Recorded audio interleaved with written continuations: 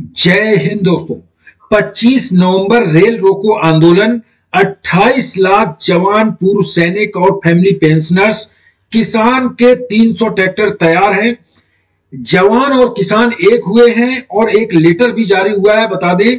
किसानों ने साथ क्यों दिया है? उस लेटर में लिखा है, सबसे पहले तो मैं आपको वो लेटर दिखाता हूँ।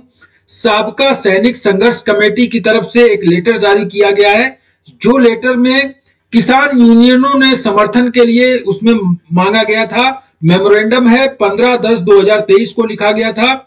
किसान आंदोलन के दौरान पूर्व सैनिक जवानों द्वारा किसानों को दिए गए समर्थन एवं सहयोग के बदले में 25 नवंबर 2023 को पूर्व सैनिक जवानों द्वारा नई दिल्ली रेलवे स्टेशन पर किए जा रहे रेल रोको आंदोलन में सहयोग एवं समर्थन देने के संबंध में एक लेटर लिखा गया है। और इसमें कहा गया है, श्रीमान, आपसे निवेदन है कि पूर्व सैनिक जवानों द्वारा पेंशन और सुविधाओं में भेदभाव के आरोप में, के विरोध में 20 जनवरी 2023 से जंतर मंतर पर अनिश्चितकालीन धरना चल रहा है।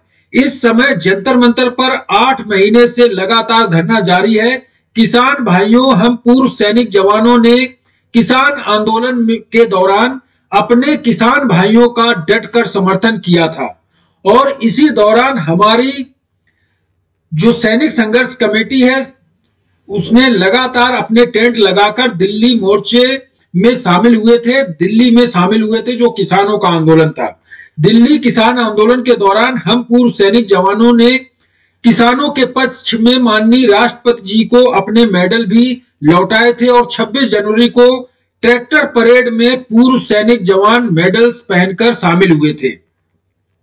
किसान भाइयों, जैसा कि आप जानते हैं कि किसान यूनियनों में बहुत बड़ी संख्या में पूर्व सैनिक जवान मेंबर्स हैं।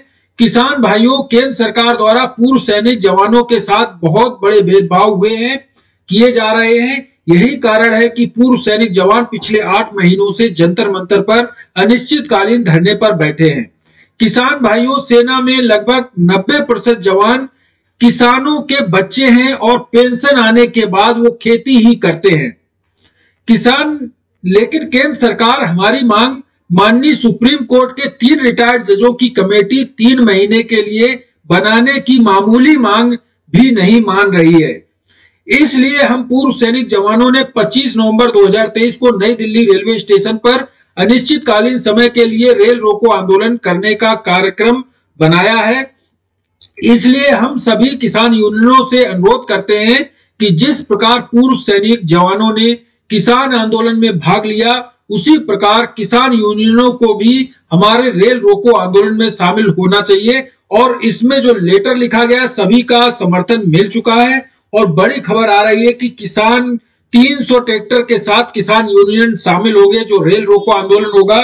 तो बड़ी खबर है, ट्रैक्टर मार्च का ट्रेलर हिट रहा था किसान आंदोलनों का, और अब पूर्व सैनिकों के साथ किसान आंदोलन भी शामिल होंगे, जिससे कि रेल रोको आंदोलन 25 नवंबर को होने जा रहा है। बहुत बड़ा आंदोलन होने वाला है। थैंक यू, जय हिंद।